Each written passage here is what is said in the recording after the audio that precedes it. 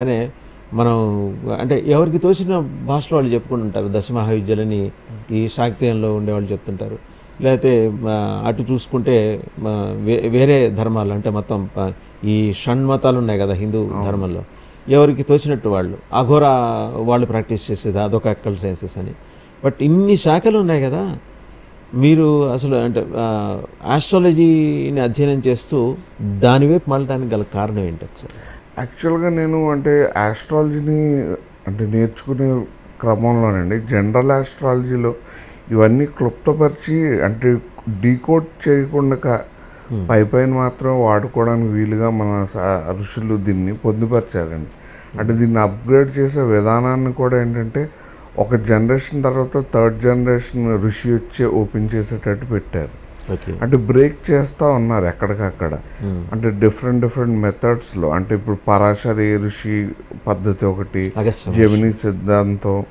ఇలాగా అంటే ఒక సెవెన్ రిషీస్ సెవెన్ ఫార్మాట్స్లో చెప్పారు. బట్ ఎవరు ఏం ఫార్మాట్స్ చెప్పినా they are calculating on planets అండి.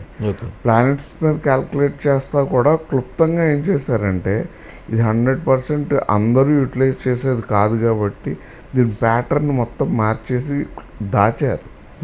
ఈ దాచడాన్ని ఏంటంటే ప్రజెంట్ డేస్లో అందుబాటులో ఉన్న నాలెడ్జ్తో దాన్ని ప్రిడిక్ట్ చేసి జరిగేటటువంటి ఒక చిన్న సంఘటన పట్టుకొని బిజినెస్ ఎంపైర్ కోసం వాడుతున్నారు తప్ప పూర్వం అసలు దీన్ని అకల్ట్గా ఎలా వాడారు అని మనం అబ్జర్వ్ చేసినట్టయితే కింగ్స్ యొక్క పాలనా విధానం కింగ్స్ యొక్క యాన్సెస్ట్రిటీని కాపాడుకోవడానికి అంటే వాళ్ళ వంశాన్ని వాళ్ళ వంశ పారంపర్యాన్ని నెక్స్ట్ జనరేషన్కి తీసుకొచ్చే విధానంలో కానివ్వండి వాళ్ళ ఎంటైర్ ఎంపైర్ యొక్క సంపదని వాళ్ళ జెనెటిక్స్ని కాపాడడానికి ఆస్ట్రాలజీని మేజర్ రూట్ కింద వాడారు. అది ఆస్ట్రాలజీ అనే కన్నా కంప్లీట్గా అకల్ట్ లాంగ్వేజ్ అని చెప్పాలి.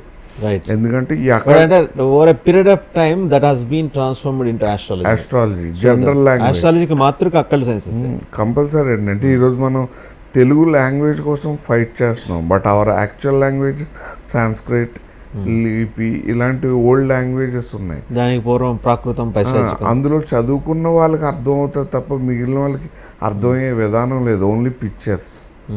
బై పిక్చర్ ఒక నార్మల్ పర్సన్ కమ్యూనికేట్ చేసే విధానం అదే. హిందీలో ఒక సామెత ఉంది, తస్వీర్ కైతే పిక్చర్స్ విల్ స్పీక్ అని.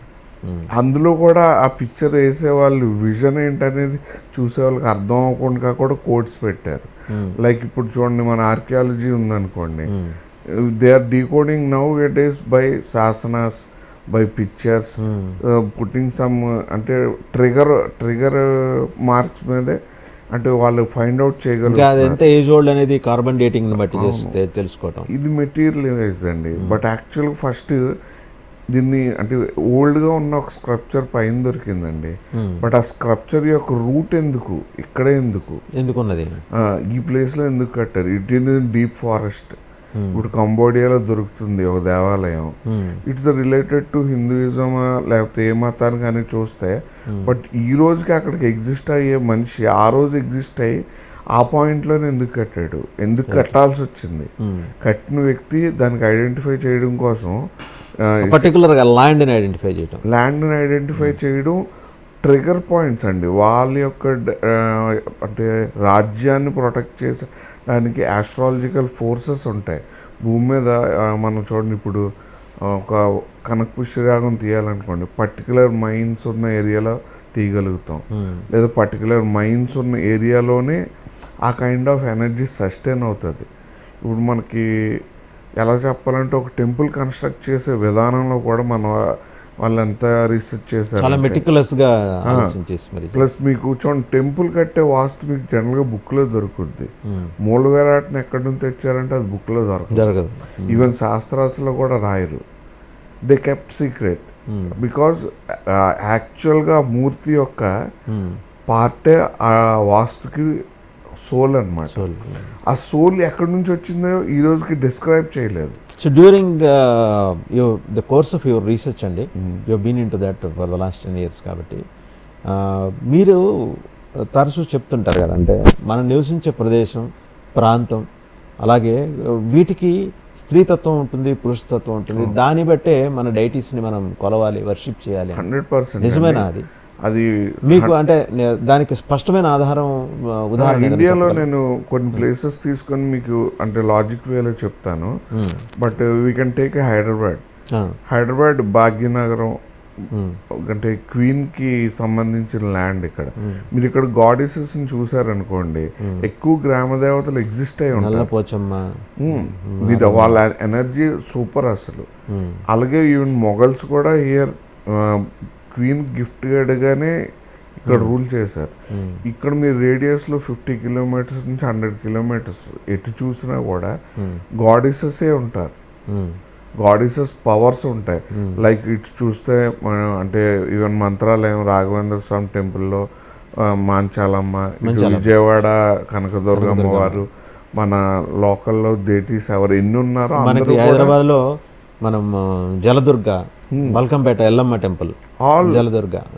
All female goddess energies Dokkalamma Chinnamasta temple most powerful అండి. Most powerful place by rule by powerful kings Nizams మీరు అలాగే ఢిల్లీ వెళ్ళారనుకోండి అంటే Delhi is complete male dominated place but female vastu okay.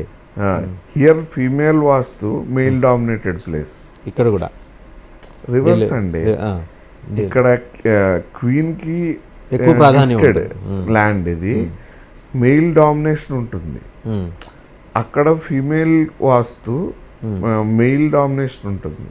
Right ఎందుకంటే మీరు ఇప్పుడు Delhi vastu structure చూసారనుకోండి కన్స్ట్రక్షన్ ఆఫ్ ఢిల్లీ అంత రౌండెడ్గా ఉంటాయి. ఈవెన్ స్ట్రీట్స్ అవనివ్వండి దే కెప్ట్ ఎవ్రీథింగ్ రౌండ్ గోల్ చక్కర్స్ ఎక్కువ.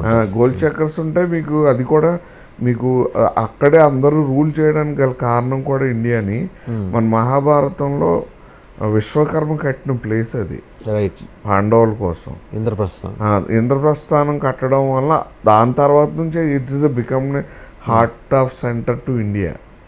దాని తర్వాత ఎవరైతే వచ్చారో వాళ్ళందరూ కూడా ఢిల్లీ అనేది పవర్ హబ్ కింద.